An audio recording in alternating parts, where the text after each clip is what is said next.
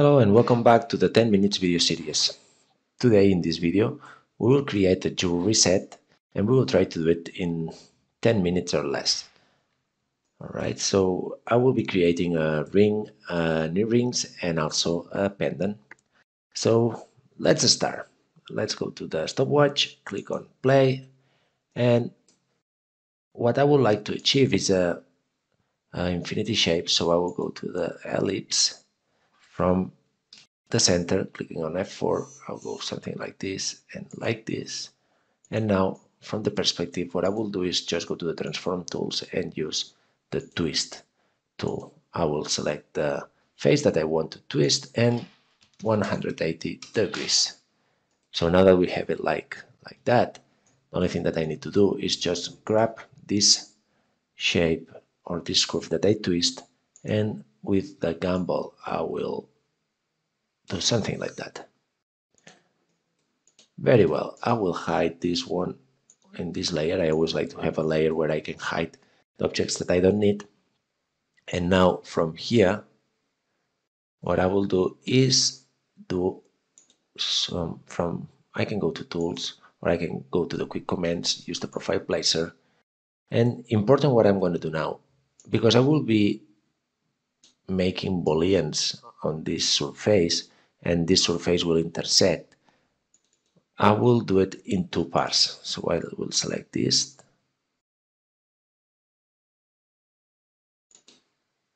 I will make it smaller and like this. And I will place one here and another one here in this place. So now the only thing that I need to do now is just go to the surface, sweep one between this curve and this and this Perfect. And now what I will do again is I will do Control C, Control V. So I'm duplicating this sweep. And now I will go to edit. And the only thing that I need to do is just click on flip. So I get the other side. So we already have it. Now I will create the ring rail. And I will adapt this shape to the ring rail that I just created. So clicking on the Alt key, I will do a copy. I will place it at the level that I want. And now, again, I will select them and from transform, I will use the bend tool. I will say that I want it from this side and symmetric. I will pull it just to here. Well, this is the end point. I need to get the angle that I want it here. So I can go to minus 24. Let's see how that looks like a bit more. Minus 27.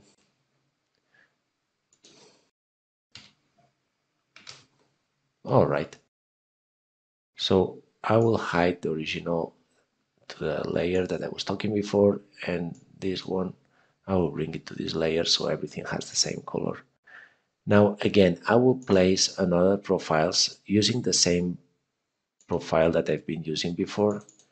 This one, I will move it here. All right.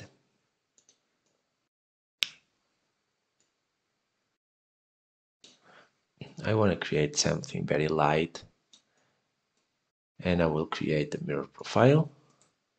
And now the only thing that I need to do again is go to the surface, sweep one between this, this, and this.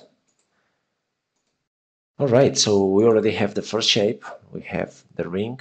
Now what I will do is just create, create replicas from that. So I will go to the top view and again with the Alt key press, I will create a copy. This will be the pendant.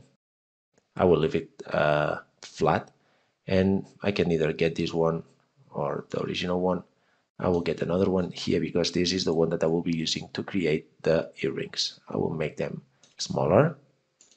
And now I will rotate it because I want them to be straight. And like this. Okay. And now I will get this and uh, parts and I will just bend them.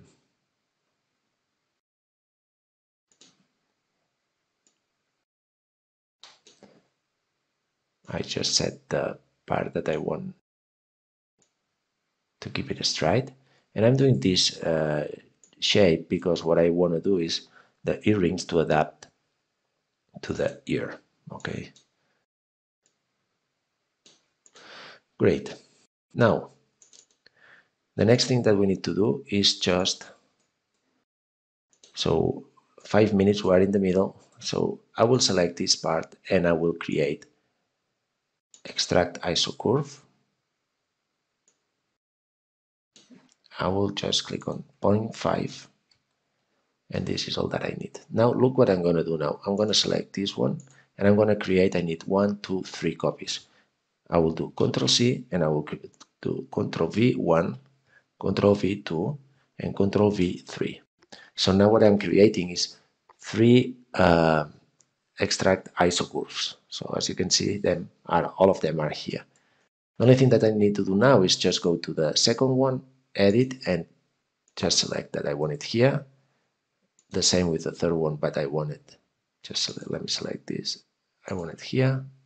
I need to create uh, to click uh, shift control because this is a group of two surfaces.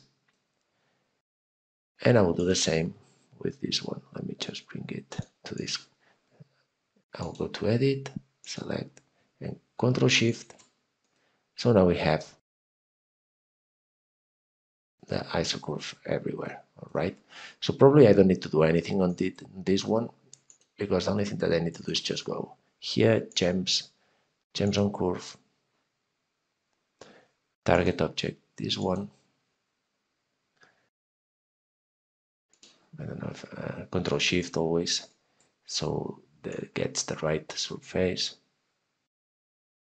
And what I will do is go to the size list.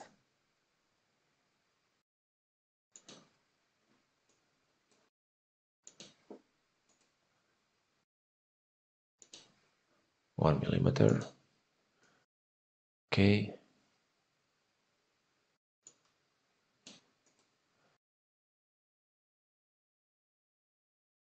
I will add settings great. Now I will do the same on this one curve so seven minutes. Probably we will be able to make it gems on curve. The surface is this one. One millimeter stones and up to here.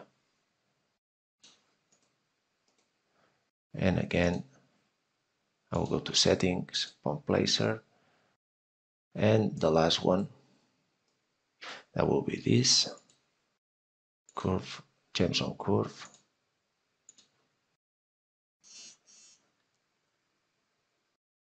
Target object control shift to select the right surface one millimeter and from here just here. All right. Now the last thing 8 minutes so I have 2 minutes left settings prong placer. Good. So I have it everywhere. And now the only thing that I need to do is just select all the stones and go and from cutters utilize the gem cutter fantastic and now the only thing that I need to do is just go to solid boolean difference and select the first surfaces. This, Control Shift this one, and Control Shift this one. And now when it's asking me select second surfaces, I will select these ones. I click enter and now it's doing all the operation, the Boolean operations.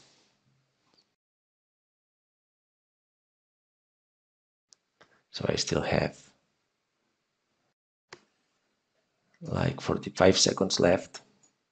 So we got it ready. And there we go. Probably the only thing that I need to do is just go to the collections and where we have all the collections. We have the findings and I will get this one. I will import it.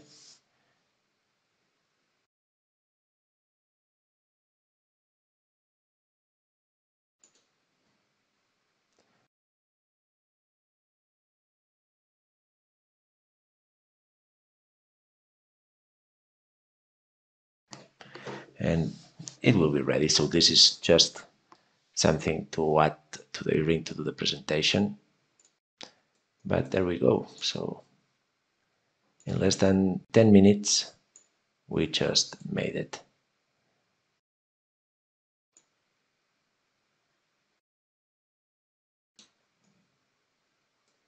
Something like this